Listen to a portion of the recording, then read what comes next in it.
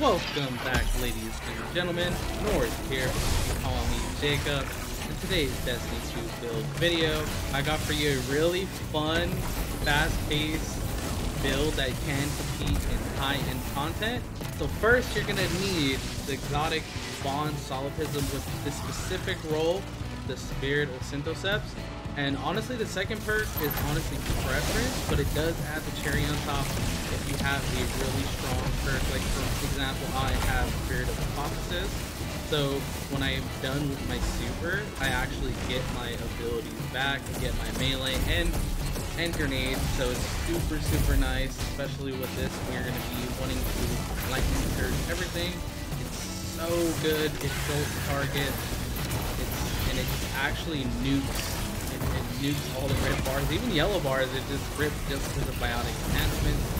And it's so good, guys will love this.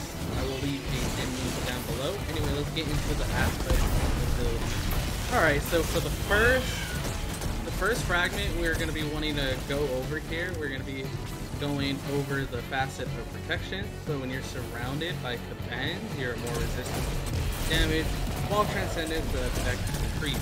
So when you're a Transcendent and you're out there just, you know, light, lightning surging and jolting and nuking everything, you're going to have increase of damage reduction, which is super good, and you're going to be surviving more often, especially with Devour proc as well. We're going to be going over that as soon as we're done with the fragment. For the second fragment, we're running on this prismatic build for Warlock. We're running facet of dominance, your void grenade, weaken targets, and your arc grenade, jolt targets. So for example, on this expert Lost Sector that I was doing, I did not have a overload weapon equipped, but I do have this fragment, so I can just throw my storm nade on the overload and get an easy stun. And it also works with your transcendence nade, so when you throw your transcendence grenade, it does weaken the target because it does give that void effect. So it's really, really useful and it's honestly super powerful. So run this for your second fragment on this build. For the third fragment, you want to run Facet of Bravery. Defeating targets with grenade final blows grants volatile rounds to your void weapons. Right now I am running Graviton Lance in this gameplay. So when I get grenade final blows, I will be granted pretty much infinite volatile rounds because you're going to be having an up like a crazy uptime of abilities. Defeating targets with powered melee final blows grants unraveling rounds to your strand weapon. So your call is going to have infinite unraveling around and it's to go actually bonkers, it's to go nuts. So definitely have Facet of Bravery on your third fragment for this build. For the fourth slot of fragments, you want to be running Facet of Balance. Rapidly defeating targets with light damage grants melee energy. Rapidly defeating targets with darkness damage grants grenade energy. So this goes hand in hand with the call, and it also goes hand in hand with your Graviton Lance. So you know you're gonna be spamming that Graviton, you're just gonna constantly have melee energy. It's so good, and you're just gonna be lightning surging pretty much all the time. You're probably you're most likely gonna have the melee up you know, infinitely. So definitely go with Facet of Balance on your fourth fragment.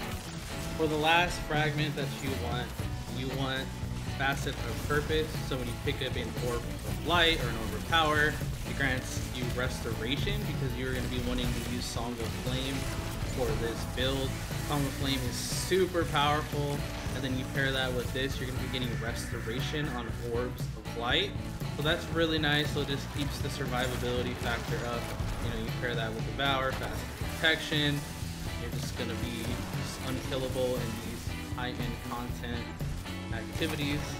Alright, let's get into the abilities of this insane build. We are gonna be using for the aspects, we're gonna be using Lightning Surge. So keep in mind, Lightning Surge just does call, cause Jolt. So if you want to jolt a overload and you are, you know, maybe you're feeling uh, really ballsy that day, you can just go and slide and jolt that overload champion depending on where they are positioned. And for our next aspect, we are going to be going with Feed the Void. So those are the two aspects we're going to be using. And Feed the Void is grants you Devour, so you get a plus 200 HP every kill, and it also gives you improved grenade energy, so you want to keep that in mind as well. So those are the two aspects you want to run on this build.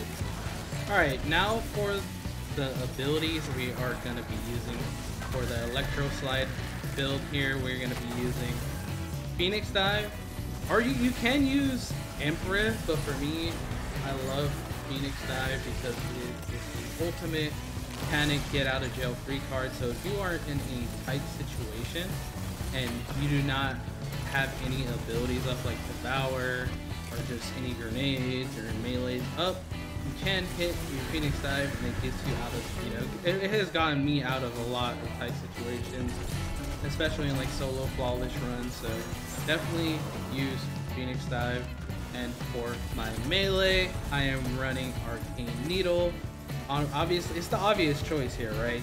Because you're going to be wanting to have the three melees. When you pop Transcendence, you pretty much get full melee energy, and then you're going to want to have that paired with Arcane Needle. So definitely use this because gives you the most benefit. And for the grenade, we are going to be wanting to use Vortex Grenade because I am pairing this with Facet of Dominant and I'm going to be getting weakened targets. So definitely go with the Vortex Grenade. You can use Storm Grenade if you want to for the Jolt, like for example for Overload Champions, but in my honest opinion, I think the Vortex Grenade is the easy outright winner here for this grenade It's really nice, and so definitely go with that. Alright, now let's go over some artifact mods, shall we, really fast?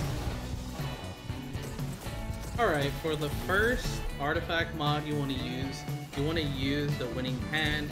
So when you have the call with, you do deal solar damage to nearby combatants. When you get the kill, it does do a little explosion, really nice. This adds on to the benefit of the call, which is already super powerful. For the next artifact mod for this build, you do want galvanic armor. So when you have a prismatic subclass equipped or an arc one, you incoming damage from combatants is reduced while amplified. You're going to be amplified a lot with this build, so make sure you have galvanic armor on. Next perk that you want, you want Radiant Orb. So when you pick up a Orb of Light, you do become Radiant so you do not have to use anything else. So it's pretty much just a free Radiant buff. So make sure you have Radiant Orbs as well in your artifact mod. For the next artifact mod that you want, you want Chill Crush. So when you are amplified or radiant, your grenade recharges faster and deals increased damage.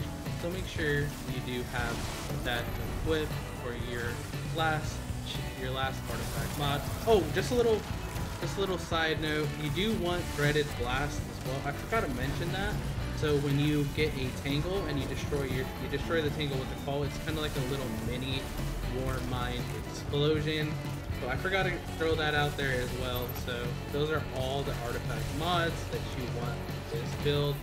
We're going to be going over the artifact mods. I do appreciate it if you're still here watching. I hope this build is good for you and it's super fun. It might not be the meta build, but it is really fun. So let's get into the armor mod really fast. I appreciate all y'all for sticking around. Alright, for the armor mods here, we are going to be going with hands-on on my helmet, and we're going to be going heavy ammo finder. I will have a DIM link below, so don't worry, I'm just going to go over these really fast. And for my gauntlets, I have heavy handed, so I'm going to be making a lot of orbs when I'm just spamming my lightning surge. And for the chest piece, whatever damage resistance area you're in, so if you're getting pelted by void damage, put on void resistance. You know, vice versa, arc, solar. You know, you know, you know the drill.